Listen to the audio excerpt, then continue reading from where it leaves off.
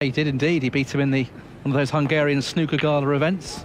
Not sure if Shaun remembers that too well. That was in a one-frame shootout, but he's first in here, the magician.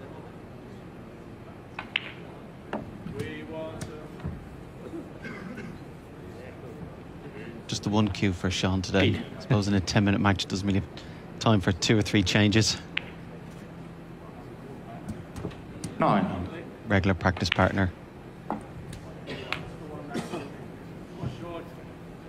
Surprising that nobody from the top 16 has ever won this as well, considering what a class player he is.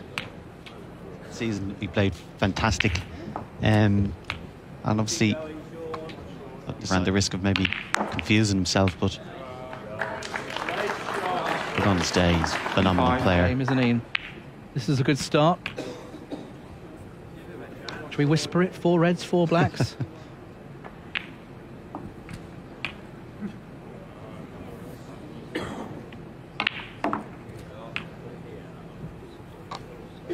if he can keep good close control of the white position. I was able to put an on still, staying for the black.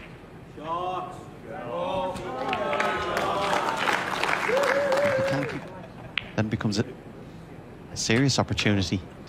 First five minutes with 15 seconds.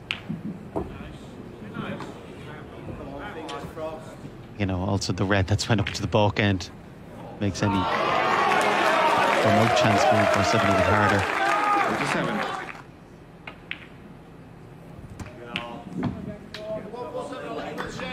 And still has plenty of time. Doesn't have to rush, trying to take these next four in the open as simply as can.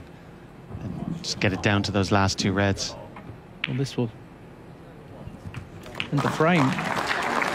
You'd have to feel sorry from coming from Hungary, playing one shot, and that's his tournament done.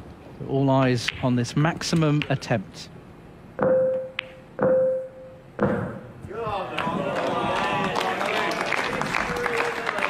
can't remember anybody getting as far down the road of making a 147 in this shootout format. Of course, 142 is the highest ever break by Mark Allen.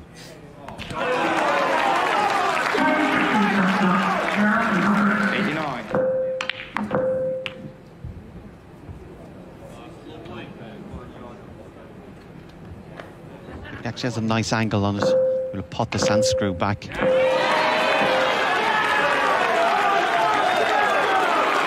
Tremendous shot. Try and hold this for the red.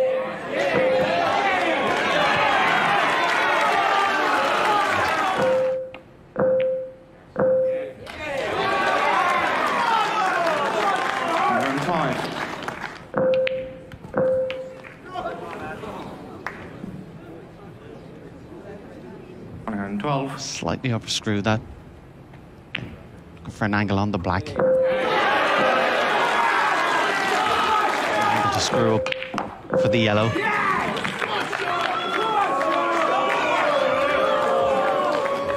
One twenty.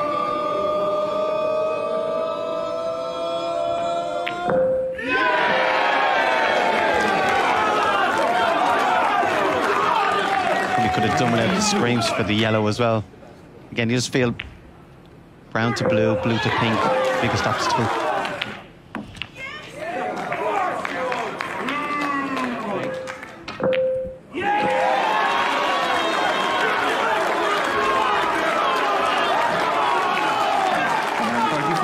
Brilliant shot.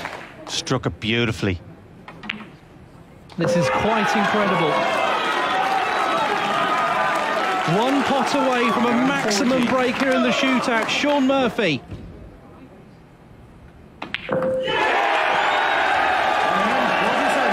And he's done it!